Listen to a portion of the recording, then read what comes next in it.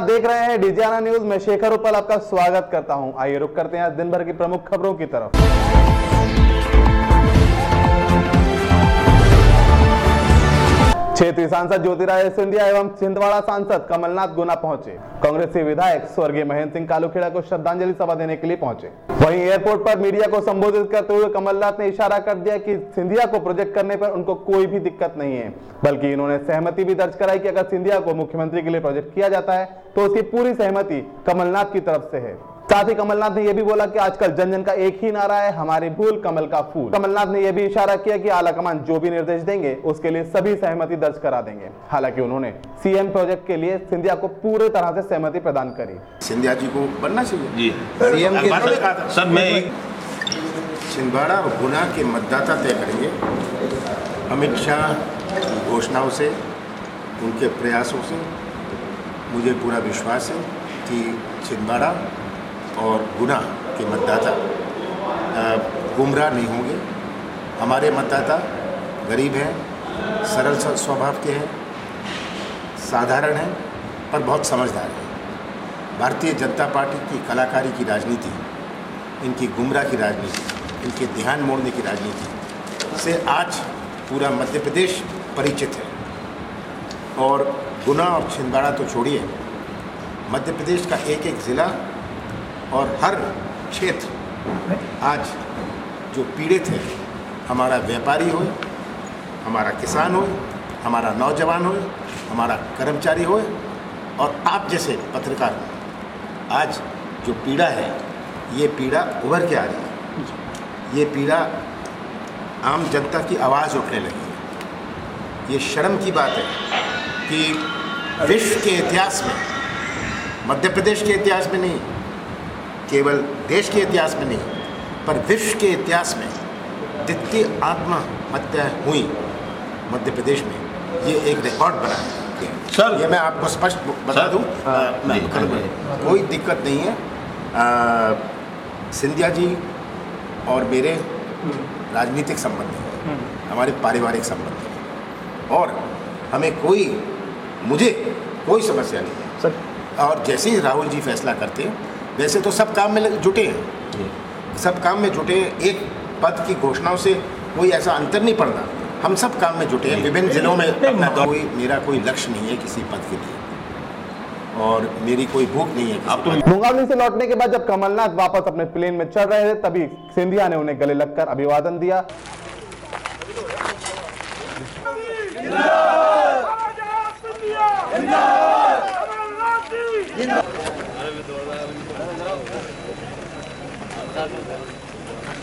साथ ही सिंधिया ने यह भी कहा कि इस बार किसी भी नेता की मुख्यमंत्री बनने की कोई ख्वाहिश नहीं है। सभी का एक ही मत है कि किसी भी तरह से कांग्रेस को चरम पर लेके आए। किसी भी तरह से किसी भी हाल में चुनाव को जीतना है, इसके लिए कोई भी नेता आलाकमान नियुक्त करें, वो मुख्यमंत्री बनने को तैयार है, लेकिन सभी एक साथ एकजुट होकर काम करेंगे।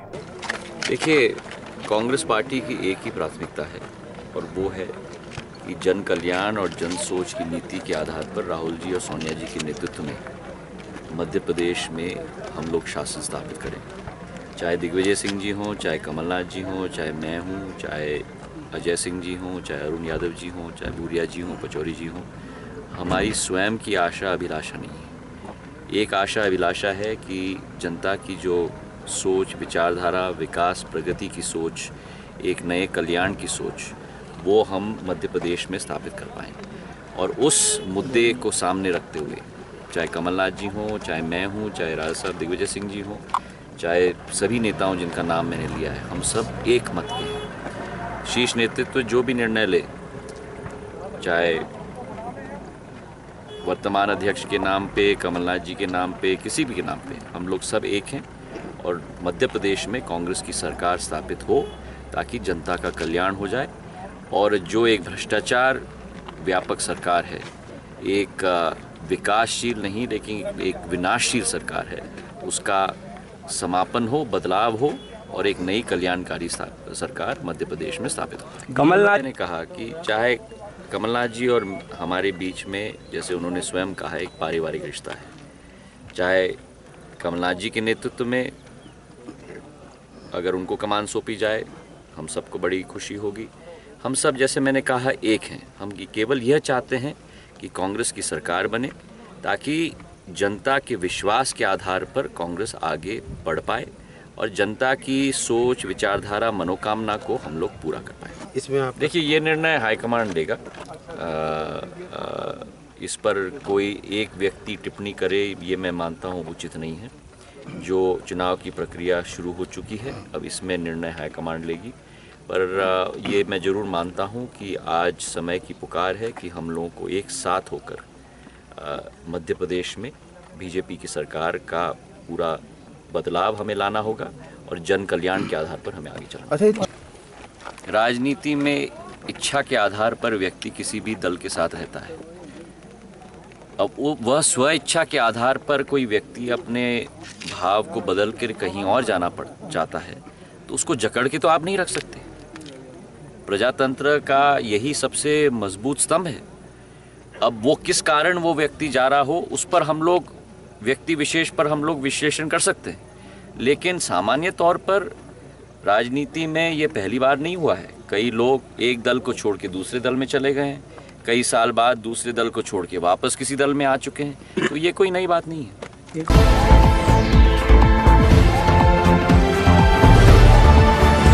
धरनादा थाना क्षेत्र के महुगढ़ा ग्राम में आज एक दिल दहला देने वाली घटना सामने आई।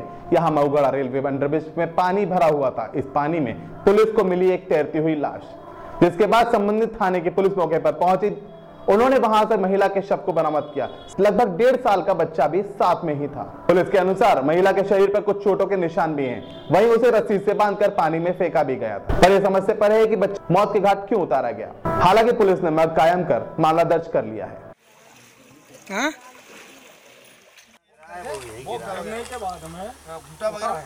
चप्पल उसकी लिपटी यही छोड़ के जब बाद में भागा और फिर याद नहीं रही बात चप्पल। के पास फाटक के नीचे पानी भरा हुआ है उसमें डेड बॉडी की सूचना मिली थी। जिस पर से आए तो बॉडी को निकलवाया तो उसमें एक बच्चे की बॉडी भी साथ में निकली है। महिला की उम्र 20-22 साल की हुआ है बच्चा एक डेढ़ साल का उम्र का फ़िलहाल तो हत्या की आशंका है, क्योंकि गले में उसकी रस्सी भी बनी हुई है और गर्दन में चोट भी है। उसको बच्चे को कोई चोट का निशान नहीं है, बच्चा पानी में डूबने से उसकी मौत संभावित लग रही है।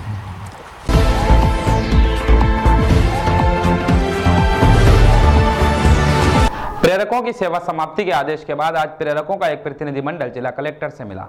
यहाँ उन्होंने जिला कलेक्टर को मुख्यमंत्री के नाम एक ज्ञापन भी सौंपा एवं उनके साथ किए जा रहे इस तरीके के व्यवहार के संबंध में कई बातें उन्होंने मुख्यमंत्री के समक्ष ज्ञापन के माध्यम से रखी। साथ ही उन्होंने बताया कि वे लगातार सत्ताधारी दल के नेताओं से इस संबंध में ज्ञापन देते आए हैं एवं सभी नेता उन्हें यही आश्वासन देते आए हैं कि उनके साथ कुछ गलत नहीं होगा। पर वे आज सत्ते में आ गए जब उन्हें इस आदेश की जानकारी मिली कि उनकी सेवा समाप्त कर दी गई है। प्रेरक हैं जो हमा, हमारी नियुक्ति सन 2013 में हुई थी जून 2013 में और मात्र दो हज़ार रुपये मानदेय मिलता था और राज्य सरकार द्वारा कल हमें आदेश कर दिए गए कि आपकी सेवा समाप्त की जाती है। ये हमारे साथ बहुत बड़ा अन्याय किया गया है। बीजेपी सरकार द्वारा हम इसका बिल्कुल विरोध भी करेंगे। अभी फ़िलहाल एक आवेदन दे रहे हैं सरकार के लिए। सीएम साहब के नाम से कलेक्टर महोदय को दे रहे हैं। इसमें हमने हमारी मांगें रखी हैं कि हमारी सेवा पुनः हमारे जो काम है वो हमें दिया जाए, हमारा मानदेय वेतनमान में बढ़ाया जाए, हमें संविदा शिक्षक वर्ग तीन का दर्जा दिया जाए। और इससे पहले हम कई बार ज्ञापन दे चुके हैं, कलेक्टर महोदय को भी, बीजेपी की वरिष्ठ नेताओं, जैसे कि श्री नरेंद्र सिंह तोमर जी और जयवंत सिंह कवैया जी और सीएम महोदय खुद, जो अभी गुना में आए थे, उनको भी हमने ज्ञापन दिया था। और सीएम जी के द्वारा हमें आश्वासन दिया गया था कि आपका मुझे बाकायदा ध्यान है, आप चिंता ना करें। पवैया जी ने भी बोला था ऐसा नरेंद्र सिंह तोमर जी ने भी, और हमारे साथ एकदम से ये धोखाधड़ी की गई है बिल्कुल। बीजेपी सरकार द्वारा बिना बताए हमारी सेवा समाप्त की गई हैं, और इसका हम बिल्कुल विरोध करेंगे। अगर हमारी मांगें पूरी नहीं होती हैं तो हम बिल्कुल हड़ताल भी करेंगे, और जो अनशन पे भी बैठेंगे, और सबसे बड़ा विरोध तो हमारा ये रहेगा कि बीजेपी सरकार अगर ऐसा कर रही है तो ये बहुत अन्यायपूर्ण रहेगा।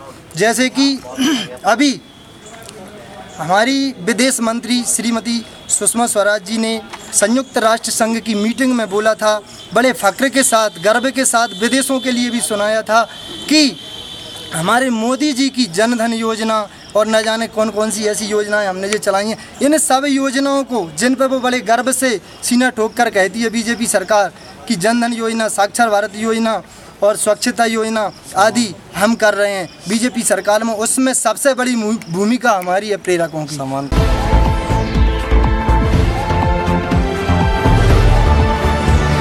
संभाग स्तरीय क्रीड़ा प्रतियोगिता का आयोजन आज से स्थानीय संजय स्टेडियम में किया जा रहा है। जिला शिक्षा अधिकारी के मार्गदर्शन में होने जा रही इस प्रतियोगिता लगभग आठ जिलों की टीमें हिस्सा लेने वाली थी, जिनमें से दो जिलों की टीमें अभी तक यहाँ पर नहीं पहुँची है।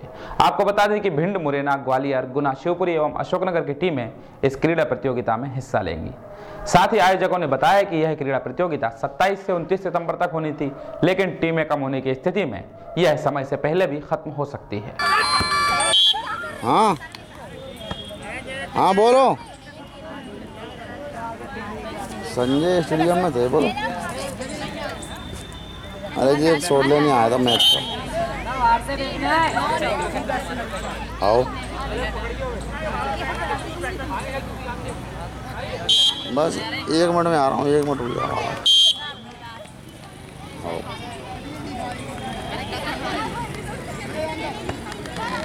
संभाग स्तरीय क्रीड़ा प्रतियोगिता नेटबॉल का आयोजन गुना में किया जा रहा है। इसमें जिला शिक्षा अधिकारी के मार्गदर्शन में ये आयोजन किया जा रहा है। इसमें छः ज़िले सम्मिलित हुए हैं। भिंड मुरैना ग्वालियर शिवपुरी गुना अशोकनगर। प्रतियोगिता 27 से 29 का आयोजन है इसका। टीमें कम आई हैं तो ये आयोजन पहले भी खत्म हो सकता है।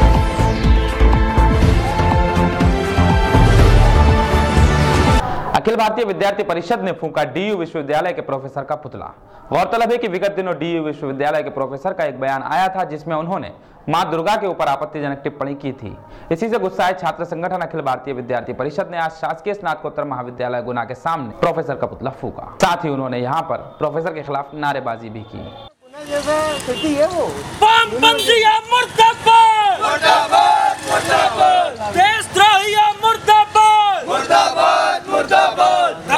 अखिल भारतीय विद्यार्थी परिषद कार्यकर्ताओं द्वारा शासकीय पीजी कॉलेज के बाहर जो देशद्रोही वामपंथी विचारधारा है, जो इस देश को एक डीमा की तरह खाने का लगातार प्रयास कर रही है, उसी के द्वारा एक घिनौना कृत्य यहाँ पर करने को मिला और डीयू विश्वविद्यालय के अंदर एक केदार कुमार मंडल नाम का नमक हराम एक प्रोफेसर है, जिसने माँ दुर्गा के बारे में अभद्र टिप्पणी करी है, इतनी अभद्र टिप्पणी की जो सामूहिक रूप से कही भी नहीं सकती। ऐसे नमक हराम और हरामी लोग जो हमारे देश के अंदर हमारा ही खा के इस तरीके से धर्म का अपमान कर रहे हैं, इनका हम लोग आज यहाँ पर विरोध करते हैं और हमने इसका यहाँ पर आज पुतला दहन करा है और समाज के सामने हम लोग ये कहना चाहते हैं कि इस तरह की दोबारा अगर कोई घटना हुई तो किसी भी तरीके से इन लोगों को बख्शा नहीं जाएगा और हर तरीके की क्षति इन लोगों को पहुँचाने के लिए राष्ट्रवादी विचारधारा के लोग समर्थ हैं।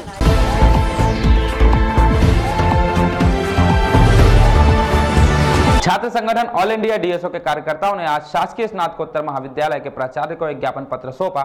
साथ ही उन्होंने इस ज्ञापन पत्र के माध्यम से विगत दिनों बनारस हिंदू यूनिवर्सिटी में छात्राओं पर हुए लाठीचार्ज के मामले में जिन छात्राओं पर मामले दर्ज किए गए हैं, उनके मामले वापस लेने की बात कही है। साथ ही छात्र छात्राओं की सुरक्षा को यहाँ पर सुनिश्चित करने की मांग भी डीएसओ के कार्यकर्ताओं ने की। एवं अंत में उनकी एक मांग और इस ज्ञापन के माध्यम से ये रही कि बीएचयू के वाइस चांसलर को उनके पद से हटाया जाए एवं उन पर कार्यवाही की जाए।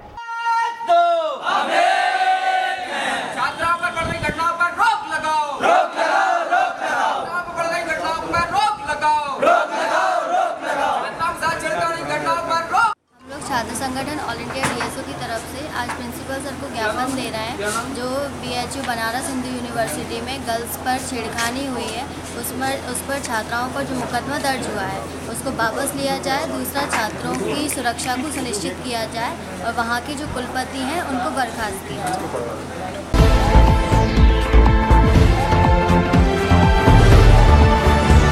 नवरात्रि के पावन पर्व के उपलक्ष्य में शहर के विभिन्न स्थानों पर गरबा महोत्सव का आयोजन किया जा रहा है। यहाँ पर युवाओं में गरबा को लेकर खासा उत्साह देखने को मिल रहा है। साथ ही शाम होते ही शहर के विभिन्न पांडालों में माता रानी के दर्शन करने के लिए भी बड़ी संख्या में श्रद्धालु पहुँच रहे हैं। आइए नज़र डालते हैं गरबा एवं माता रानी के मनमोहक पांडालों की कुछ झलकियों पर।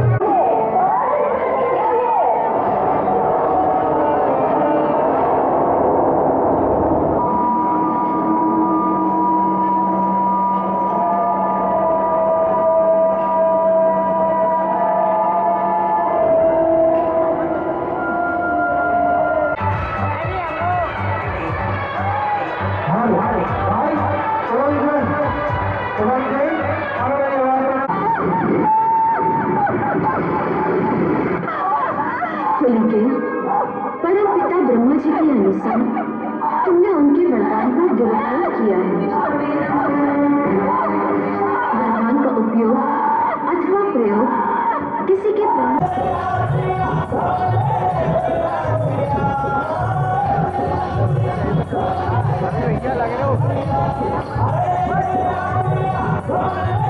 श्रद्धालुओं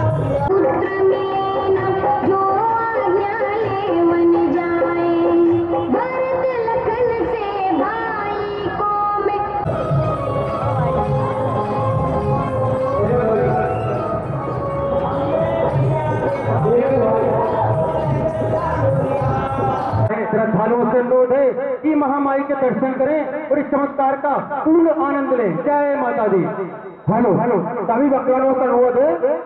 ये को छोड़ पंडित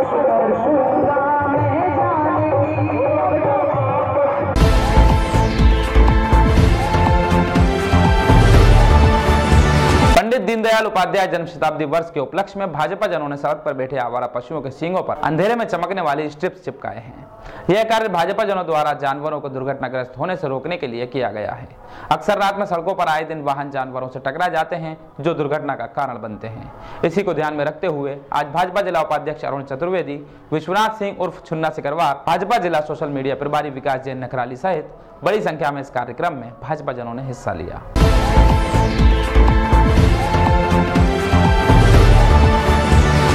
हिंदू जागरण मंच के तत्वावधान में आज माता बीस भुजी के लिए एक विशाल चुनरी यात्रा का आयोजन किया गया। यह चुनरी यात्रा केंट स्थित पंचमुखी हनुमान मंदिर से प्रारंभ हुई, जो बड़े ही धूमधाम के साथ माता बीस भुजी के मंदिर पहुँची।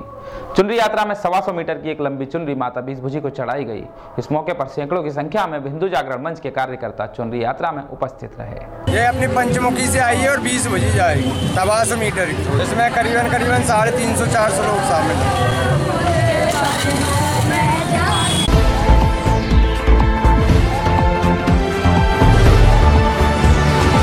आलोन नगर में विशाल चुनरी यात्रा का आयोजन किया गया, जिसमें सैकड़ों की संख्या में श्रद्धालुओं ने भाग लिया। वहीं एक श्रद्धालु द्वारा बताया गया कि 1111 मीटर की चुनरी बजरंगल स्थित माँ बीस भुजी देवी पर चढ़ाई जाएगी।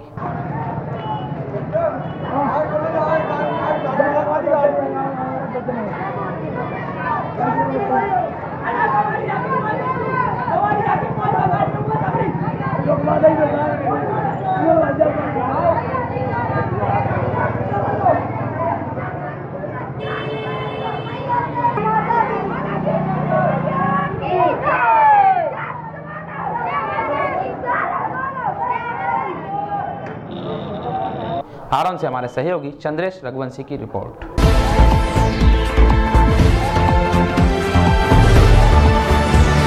राघोगढ़ तहसील के सेमरा गाँव में प्राथमिक स्कूल के पास एक हिरण का मृत बच्चा पाया गया। प्राप्त जानकारी के अनुसार हिरण के बच्चे का पीछा कुछ कुत्ते कर रहे थे, कि अचानक हिरण का बच्चा भागता हुआ स्कूल के गेट से टकरा गया एवं उसी में फंस गया, जिसके कारण उसकी मौके पर ही मृत्यु हो गई।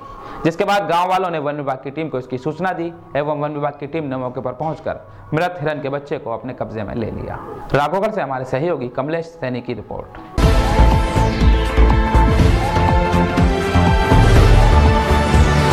आज राघोगढ़ के मैन चौराहे पर सुबह नौ बजे माता बीस बुजी के लिए एक सौ मीटर की चुनरी यात्रा निकाली गई। इस चुनरी यात्रा में बड़ी संख्या में श्रद्धालु उपस्थित रहे।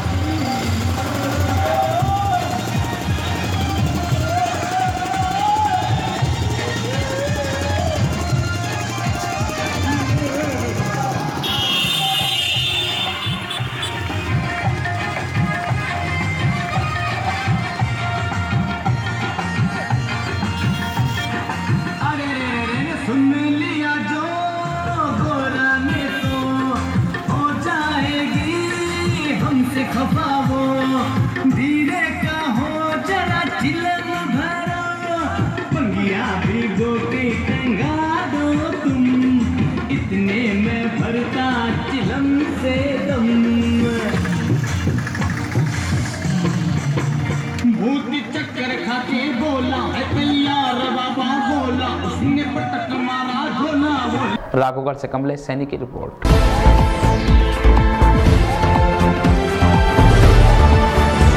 डिजियाना न्यूज़ में आज बस इतना ही। कल फिर हाजिर होंगे। तब तक दीजिए इजाज़त। नमस्कार।